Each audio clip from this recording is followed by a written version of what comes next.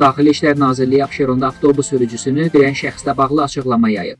Hörmətli izləyicilər, hər gün yeni xəbərlər almaq üçün videoya keçməzdən əvvəl kanalımıza abunə olaraq videonu bəyənib like etməyinizi sizlərdən xahiş edirik.